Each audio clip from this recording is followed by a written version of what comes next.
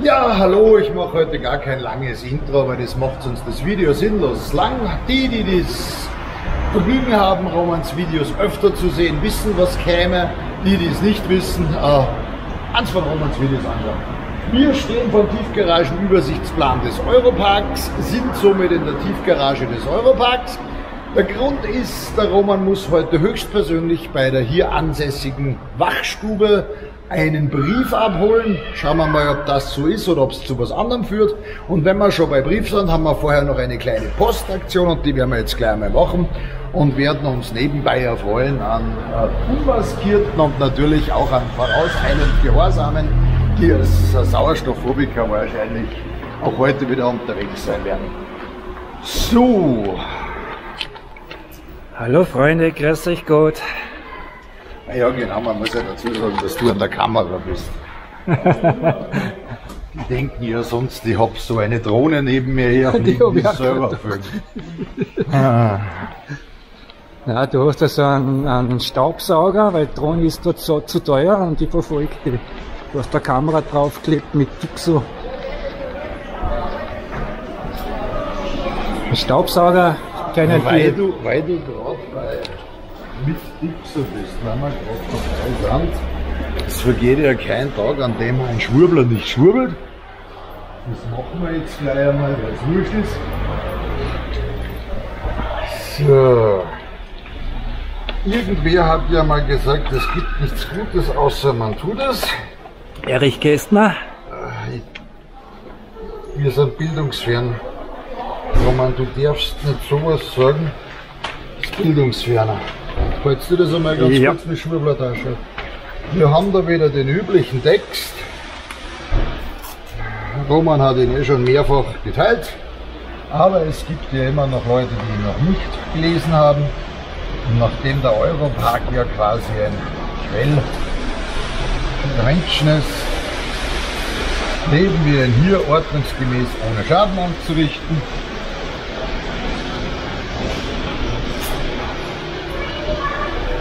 Einmal mehr mit leicht entfernbaren, unbedenklichen Malermann. So, Dankeschön. Heiter weiter. Auf der Erfolgsleiter. Nein, hätte eher gesagt auf die Rolltreppe. Aber ich hätte mal gesagt, dass jeder Fälle aufhört. Entschuldigung.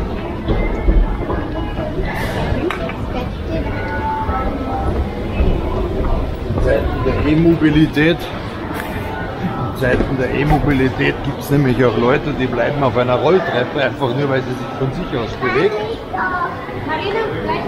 Einfach einmal stehen.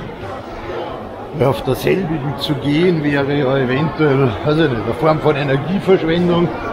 Und da würde man ja dann eventuell Putin in die Hände arbeiten oder so. Keine Ahnung. Egal, wir haben es ein bisschen eilig. Deswegen stehen wir nicht auf der Rolltreppe, sondern haben da einfach überholt und sind mal wieder am Weg zur Lieblingspost. Aber ich stelle mit Freuden fest, wir haben bis jetzt noch keine große Maskerade hier. Noch nicht, noch nicht. Na, das war schon mal schlimmer. Ja, ja. Bin beeindruckt. Ich glaube, die hat die Hitzeschlag dahin gerauft. Das kann natürlich auch sein. So. Bevor wir zur Post gehen, machen wir dieselbe Aktion nochmal kurz da draußen. In der Hoffnung, dass es irgendwann Leute gibt, die das nachahmen. Es ist nämlich nicht nur Romans und meine Aufgabe, einzig und allein, die Welt zu verbessern.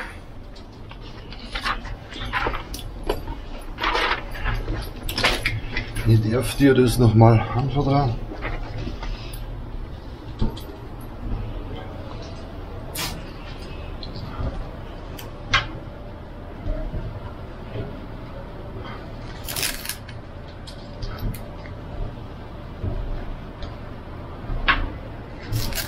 Das Traurige ist, dass Papier zwar geduldig, aber nicht selbstkorrigierend ist, weil inzwischen sind wir da bei 850 Tagen, die wir inzwischen überschritten haben.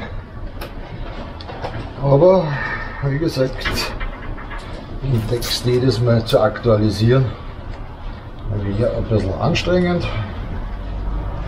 Und nachdem 800 Tage Irrsinn ja auch genug sind, machen wir das halt einfach so. So, ich danke. Und heiter weiter, aber das macht man noch, weil sonst stoppt man da wieder die Rotation der Drehtür. Da geht es jetzt zu wie im ewigen Leben, das habe ich befürchtet.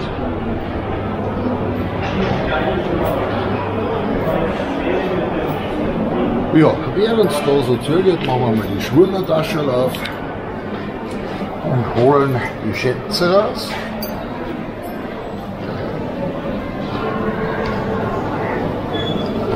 Nachdem Zigaretten im Knast Zahlungsware sind und man bei dir ja jeden Tag damit rechnen muss, dass man die einsperrt, haben wir da einmal ein bisschen Zahlungsware. Danke dir.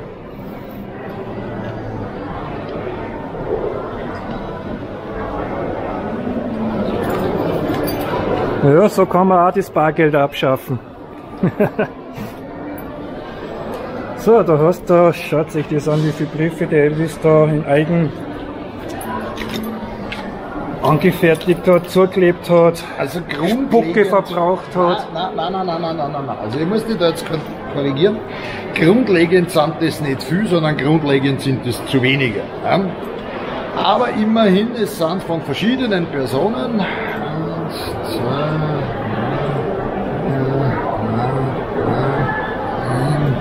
acht an der Zahl verschiedene Schreiben an mein Bezirk, an den Magister Dr. Brunner, an die Freiheitliche Partei, genau genommen an die Marlene Slatzek ähm, und an Servus TV, an den Herrn Ammerer. Man kann in deinem Video sehen, wie es eigentlich funktionieren hätte sollen. Das haben auch einige Leute gesehen. Falls wir dich heute nicht gleich einspielen, werden wir uns anschauen, wie viele und werden das nochmal verlinken. Tatsache ist allerdings, dass ich davon ausgegangen bin, dass Schwurbler halt äh, außer einmal die Wochen auf Anderl im Kreis Drogen eh nicht wirklich viel machen. Und deswegen habe ich mir erlaubt, da ein bisschen vorab diese Texte auszudrucken und beim letzten Sonntagsspaziergang mitzunehmen und habe mir die Mühe gemacht, unseren wackeren Mitstreitern, an dieser Stelle der Roland von den Halleinern, äh, lässt dich ganz lieb grüßen, habe ich hiermit medial auch offiziell gemacht. Freut sich, wenn du mal wieder in Hallein mit mir aufschlägst. Ich habe schon gesagt, im Moment haben wir viel um die Ohren. Ähm, der hat sich das natürlich auch nicht nehmen lassen, da eine Briefe zu unterschreiben. Jedenfalls, die werden wir jetzt ordnungsgemäß aufgeben und vielleicht finden sich ja dann doch ein paar, die das, ohne dass ich es ihnen ausdrucke, das Kuvert mitbringe und erkläre, was zu tun ist, auch in Eigenregie schaffen, einfach zu beweisen, dass sie mündige Bürger sind. So. Grüße. Hallo Roland, danke für diese tollen Grüße. Ich habe die auf dem Video letztens gesehen, dass du in Salzburg, bei Salzburg Wacht auft, mitgespaziert bist. Hat mich gefreut, die mal dort zu sehen, auch wenn ich selbst nicht dabei war, ich war leider verhindert. Aber wir werden uns sicher bald wiedersehen. Aber danke für die Anteilnahme.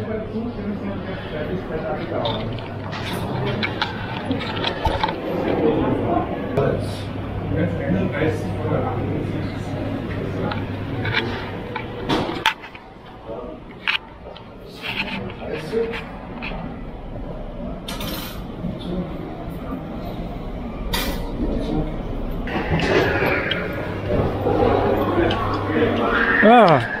Ja, haben wir es aufgeweckt. Ich wollte gerade sagen, wie man gesehen hat, Sauerstoffphobiker 1, Sauerstoffphobiker 2.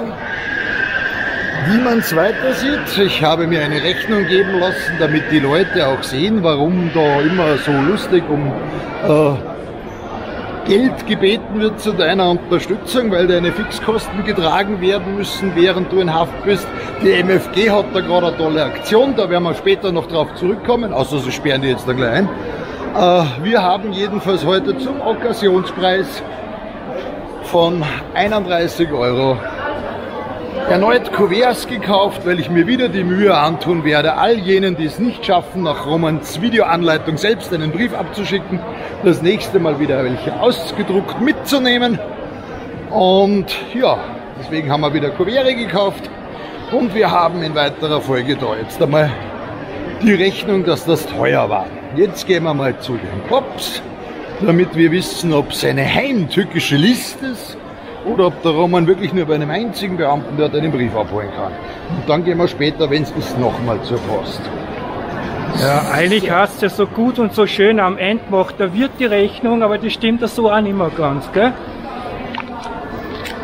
Ja, wo müssen wir da jetzt hin? Wo sind die? An den obersten Stockwerk, gleich neben dem Buchgeschäft. Neben am Talier? Ja. Okay. Beinahe neben. Ich glaube, dazwischen ist noch ein anderer Laden, aber es ist so direkt hier, wo jetzt sind da hocken sie. Gut. Neben die Toiletten, sagen wir so, da wo es am allerbesten passt.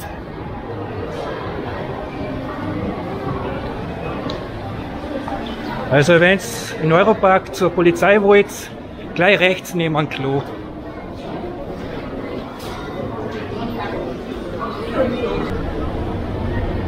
Ja, da haben wir wieder das Modell Rolltreppe, nur keinen Schritt zu viel machen, weil die Treppe rollt eh.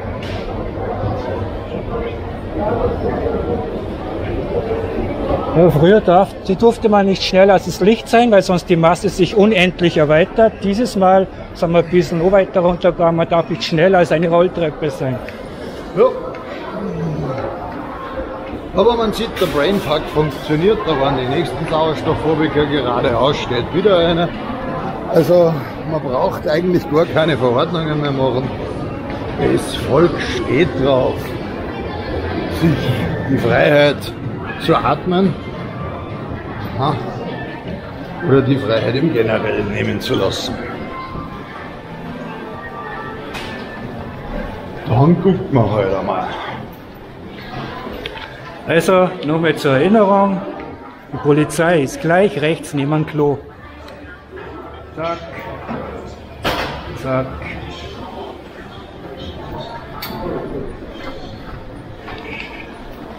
Ja, aber sie haben zumindest eine Flugtreppe. Also somit werde ich jetzt mal die Kamera ausschalten. Nur mit Mund- und Nasenschutz. Na ja, dann kennen wir eh schon nicht einige, oder? Ja, wir warten eh vor den Schalter. Ich muss ja noch einen Brief abholen, hat's geheißen. Mal schauen, ob das der Wahrheit entspricht. Ich cutte jetzt einmal und falls ich das Kamera wieder einschalten kann, wisst ihr, ich bin frei. Und sonst übernehme ich die Kamera und mache das Ende von dem Video. Klopfen.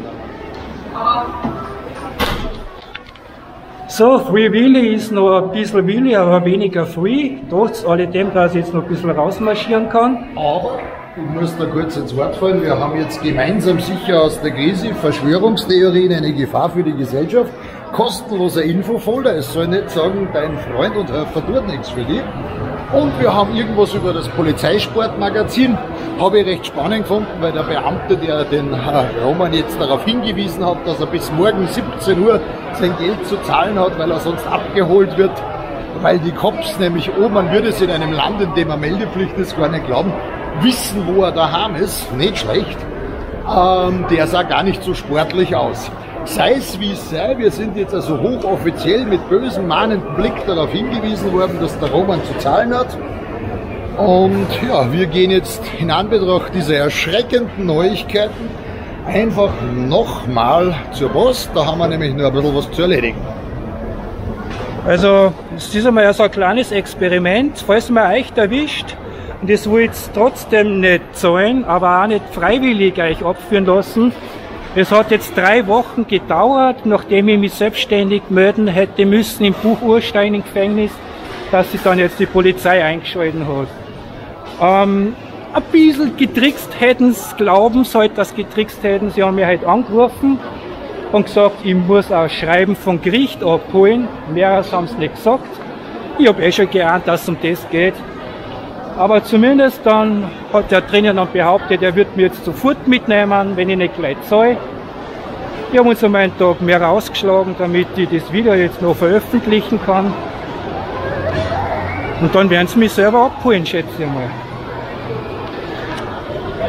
So, haben wir einen Europark Nein, noch nicht ganz, wie es ausschaut. Haben wir noch nicht. Schaut einmal, was da wieder populistisch verbreitet wird. Wo haben wir denn?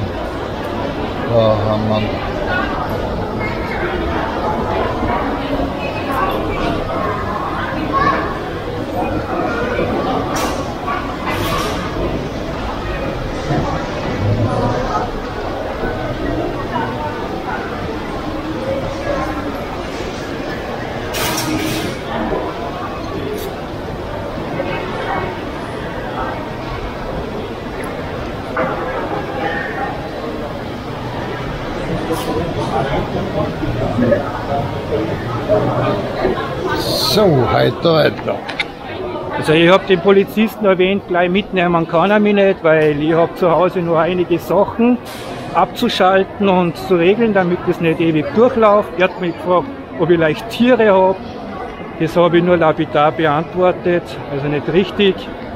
Hat vielleicht auch geholfen, dass er mich nicht gleich mitgenommen hat.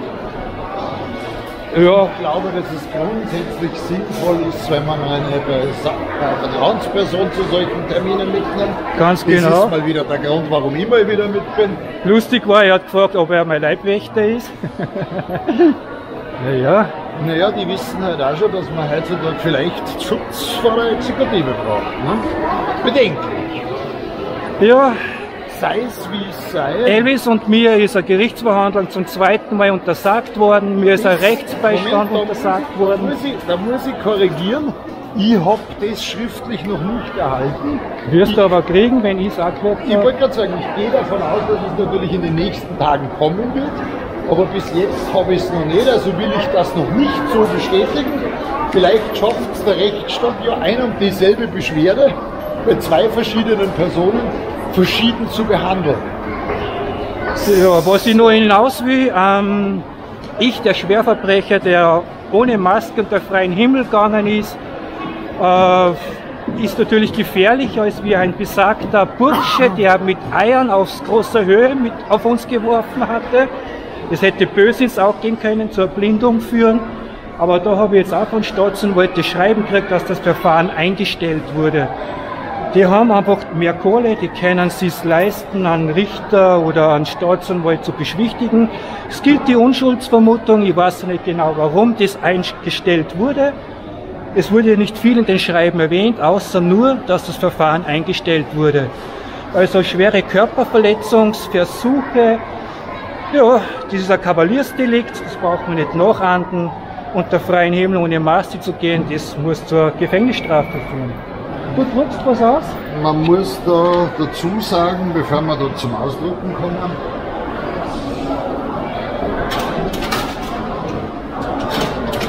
dass es in Deutschland, also in jenem bunten Nachbarland, in dem es minder gut ausschaut als bei uns oder zumindest nicht besser. Na, ich hätte mal gesagt, nicht besser. Eigentlich führen wir das Ranking der idiotischen Länder an. Ähm, dass dort ein, man schätzt ihn auf 16, äh, Daten sind keine gesichert vorhanden, eine Elfjährige missbraucht hat. Ich wiederhole es nochmal, damit es auch gut in die Kamera kommt. Eine Elfjährige.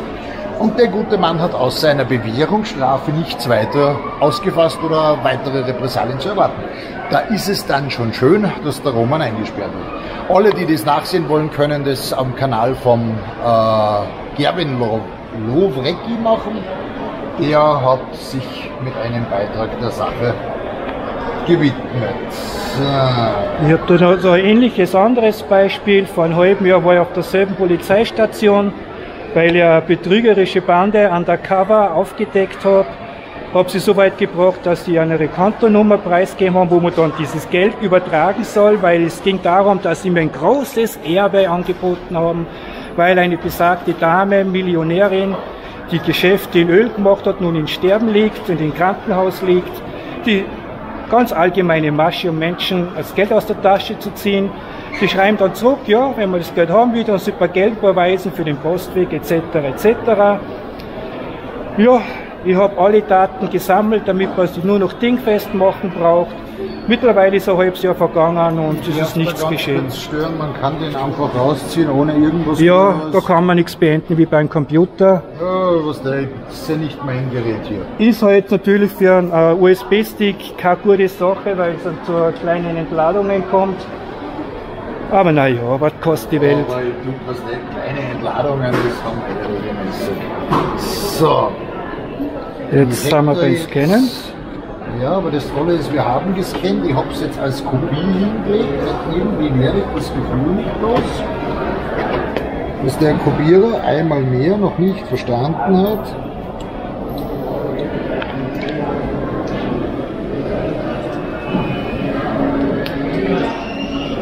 Ja. Schaut ein und aus. Auswählen.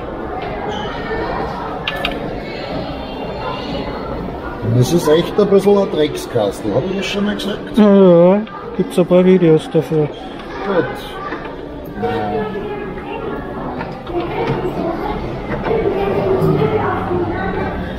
40 Cent, okay, ja. Druck kostet 30, ja. Ja, ich will aber. Kopieren ist das Grunde eh dasselbe, schätze äh. Ja, ich glaube, wir müssen uns eine qualifizierte Hilfe suchen.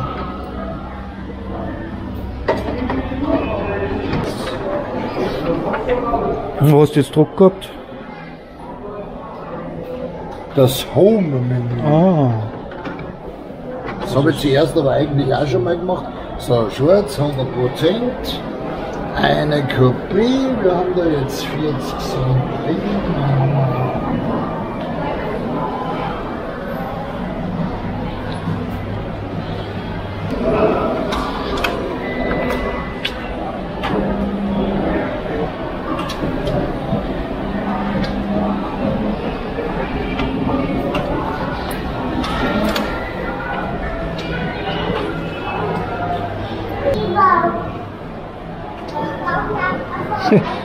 Ich hätte fragen sollen, ob ich Zahnbürste mitnehmen darf oder ob das als Waffe gilt. Du kannst ganz entspannt sein, weil du wirst morgen mit dem Herrn wieder telefonieren.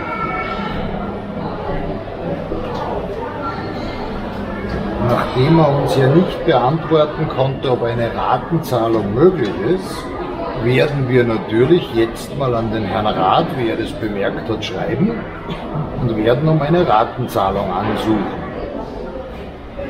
Und dann werden wir sehen, was da als Antwort kommt. In Österreich ist es nämlich gültiges Recht, dass sobald ein Zahlungswille gezeigt ist. Aber das ist ja abgelaufen, dieser Akt. Es ging es nur noch um die Vollstreckung, weil ich die Ratenzahlung vorher schon abgelehnt habe. Verstehst du? Ebenso wie eben die Sozialleistungen. So, wir haben Kopien, wir sind jetzt einmal wieder dahin. Der Roman macht dann wieder einen Einstieg, wenn es wieder spannend wird. Gab. Noch die Supermärkte. Ja, bekanntlich ein Quell vieler Menschen sind, die sich das tägliche Leben knapp, aber doch noch leisten können, machen wir da zur freien Nachahmung empfohlen.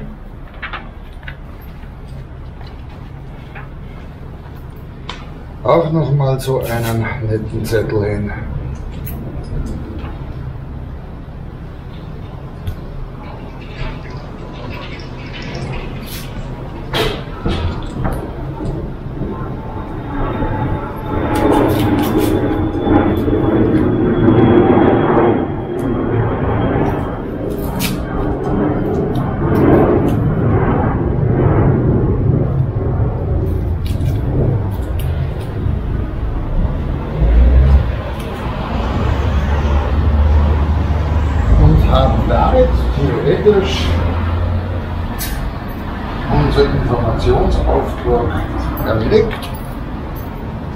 Und können dann jetzt heiter werden.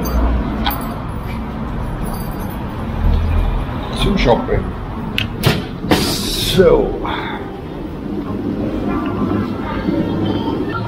Wir brauchen kalte Getränke. Geradeaus, links.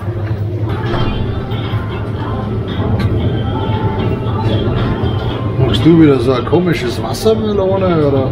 Ja, die waren ganz gut. Lass ich dir nochmal kosten, damit es auf den Geschmack kommt. Nein. Nein. Ist nicht so süß, weißt du, und Ja.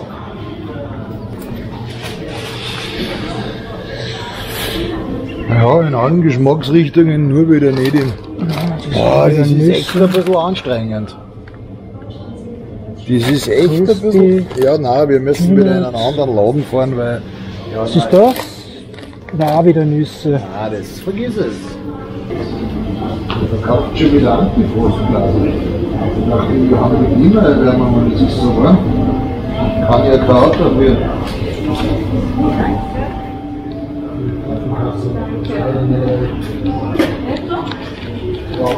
Wieder zum Endpreis, weil wenn sie es da nicht haben, weiß ich nicht, warum die in keinem Laden mehr verfügbar sind. Ja. Ich habe wirklich keine Ahnung. Das ist wirklich kurios, alle Sorten und die nicht. Ja. Die haben letztens ein Video geschaut, schätze ich, oder? Puff, die Baum. Das könnte sein, ja.